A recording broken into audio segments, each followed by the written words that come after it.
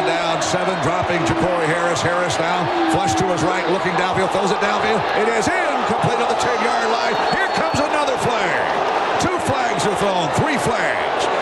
Bone jarring hit. LaRon Byrd was sandwiched. Christian Jones, one of them. And Byrd is down for the count.